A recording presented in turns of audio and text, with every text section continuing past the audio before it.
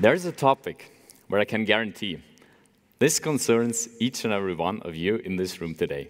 It is money. But while we like to have money, or even better, a lot of money, we don't usually talk much about it. Well, fasten your seatbelts. Because for the first time, money has actually become a fascinating subject. Something so exciting that they would even let somebody stand up and talk about it at TEDx. So, what's going on?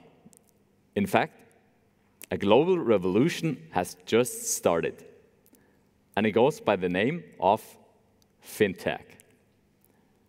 This term was made prominent by The Economist in a special issue last year, and um, Google search volumes have gone through the roof ever since. So, what's going on? FinTech is short for finance and technology. And it basically means reinventing the whole way we do, we deal with money, with banking, in a completely new way, based on today's technology. What does that mean? Well, let's run a little experiment right here, right now. I need a volunteer from the audience. Somebody. Here, the lady in the second row. What's your name? Angelica. Thank you very much. Um, applause for Angelica. Congratulations, you actually don't have to do anything. So um, you'll just earn um, 50 Swiss franc just for your cover, courage for uh, participating, and you'll uh, get the money right away. There's, there's only one problem. I just realized that I didn't bring enough cash with me this uh, morning. So I just need to walk to the nearest bank branch, um, get some money from the ATM, and I'll be back in a. No, might be a bit uh, dry for the rest of the audience. Um, I could also take out my laptop and send it to you um, from my online bank account. But I also didn't bring my TAN generator. And apart from that, today is Saturday. So the bank is closed anyway. So they'll start sending you the money on Monday. So you'll probably get it by Thursday. Mm, that's a bit of a bummer. Now, fast forward to this new fintech world. In this world, both of us would own a revolutionary, new, and powerful device called a smartphone. And with the smartphone, I could send you the money right away here from the stage, and you would have received it in a minute from now. And if you don't yet have a mobile um, first banking account, you could actually open up right now here in the TEDx auditorium if you're not too loud. This is what fintech is generally aiming to do. Thinking about how we can redesign our banking experience with today's technology. And if you think about it, and if you look at the bigger picture, the internet, the smartphone, they've already reshaped and disrupted entire industries. In travel, we use Booking.com and Airbnb. We don't walk to the nearby travel agent office to book our stay. If you want to watch videos, we stream them online on YouTube or Netflix. We don't drive to the nearest video store anymore to borrow some DVDs and take them home.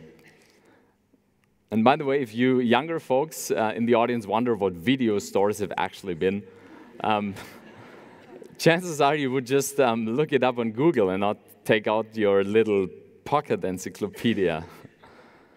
So, what about banking? Well, isn't it a bit ironic that I could order a full size plasma TV in the morning on my smartphone, have it delivered the same day by Amazon, but it takes almost a week until Angelica gets her 50 Swiss franc? But I got some good news for you. Because the future of finance has now arrived, even in the technologically emerging markets of Western Europe. What does that mean? Well, let's have a look. This is how most of us are used to dealing with money. No matter if you want to save, want to invest, want to borrow, maybe want to send money internationally, we would turn to our trusted bank, either online or walk to the bank in some cases. But now, the same trend that has already appeared in other industries, as we've seen before, um, has now also arrived in banking, in the industry of money. So now there's an alternative. Numerous startups have appeared which provide services really specialized, and they often do it faster, cheaper, more convenient than the traditional bank. When I shared all of this with um, my friend Jenny a couple of weeks ago, she in the end looked at me and said, Well, then, you know, I mean, if this is all that great and wonderful and awesome and faster, cheaper, better, why isn't everybody using it already? I mean, I've hardly heard of anybody who actually uses this stuff, right? I think she has a point there.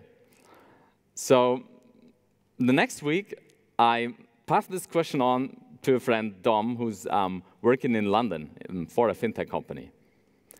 And Dom said, Well, you know, Daniel, sometimes I'm reminded of the history of cars.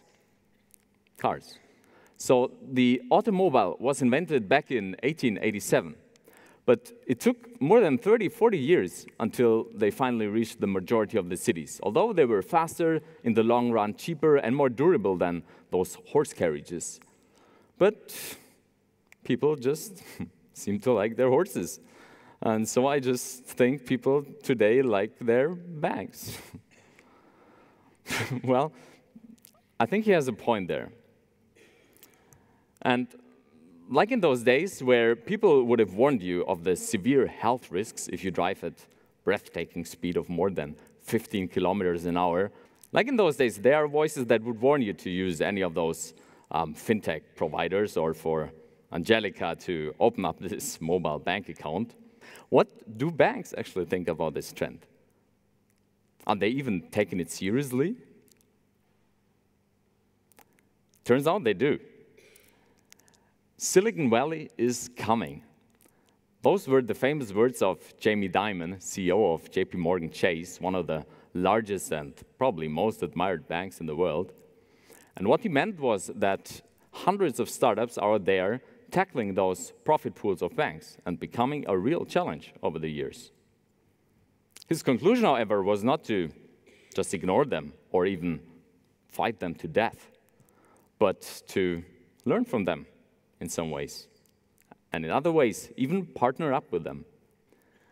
I want to leave you with this picture, referring to the CEO of Deutsche Bank, John Cryan, who actually said and predicted, even more radically, in 10 years from now, we won't have any cash anymore. So just imagine, we would meet again in 10 years from now. We no longer carry around any cash or credit cards, let alone checkbooks.